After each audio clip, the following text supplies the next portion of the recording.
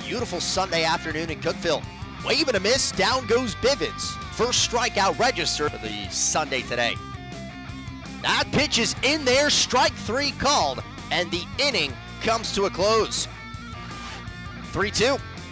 Grounded, it's Lasala. She caught it on the fly. Arden fires, and it's in there, strike three called. He's in hanging in the balance. Short ground ball to third. Lasala coming home. The tag applied. McGowan out number two. Right back to Arden.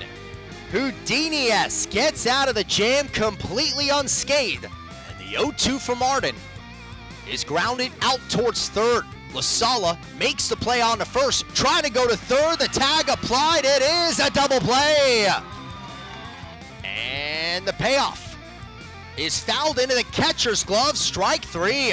Mc Short, she has stolen three bases in the game, a bunt, a good one. Bare hand, and the play is made. Trying to go to third, caught up in between. Here's a pickle. Short is going to be tagged out. Oh, another double play.